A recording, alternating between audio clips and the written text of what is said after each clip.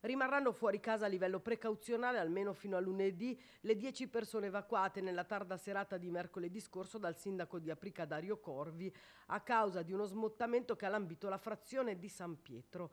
Le forti piogge hanno favorito la discesa a valle di 2000 m3 di materiale detritico, mentre poco meno di 1000 m3 sono rimasti in quota minacciando l'abitato e il torrente Magada.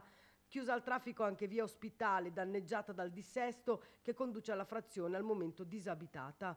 La situazione è sotto controllo, rassicura il sindaco Corvi. Abbiamo adottato tutte le misure necessarie al fine di non correre rischi. Gli evacuati, prosegue, hanno trovato ospitalità presso parenti e amici. Ora, conclude Corvi, ringraziando i vigili del fuoco, la protezione civile e i tecnici comunali, sono in corso una serie di sopralluoghi per verificare le condizioni di stabilità dei versanti. Intanto prosegue l'isolamento dei 40 residenti di Arigna, Ponte in Valtellina, impossibilitati a scendere a Valle in auto dopo che su parte della strada comunale, unica via di collegamento con il fondovalle, si è aperta una voragine.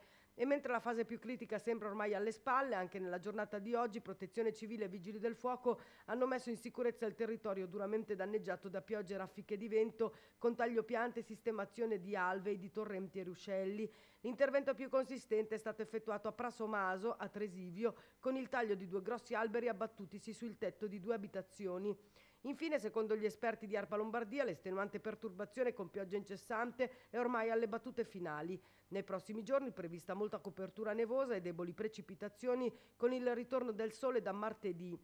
In quota si registra un accumulo di neve fresca che spazia dagli 80 ai 140 cm, dai 2000 metri a salire, una condizione che, favorita dall'innalzamento a 2800 metri dello zero termico, ha fatto impennare a elevato l'indice di pericolo valanghe con distacchi probabili anche con il passaggio di un singolo sciatore.